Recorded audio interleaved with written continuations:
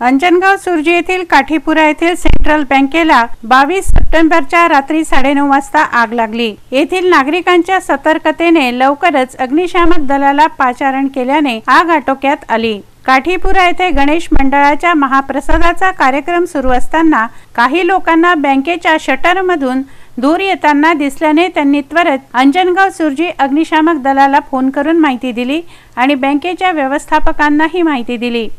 अग्निशामक दल पोचल्यानंतर बँकेच्या कर्मचाऱ्यांसमक्ष बँकेच्या दारावरील कुलूप तोडलं आणि अग्निशामकच्या कर्मचाऱ्यांनी आग आटोक्यात आणली. ही आग एसीमुळे लागल्याचे समजते. यावेळी पोलीस विभागाने बँक परिसरात बंदोबस्त लावला होता. Anjangaon सुरजीहून Javed Shah city news.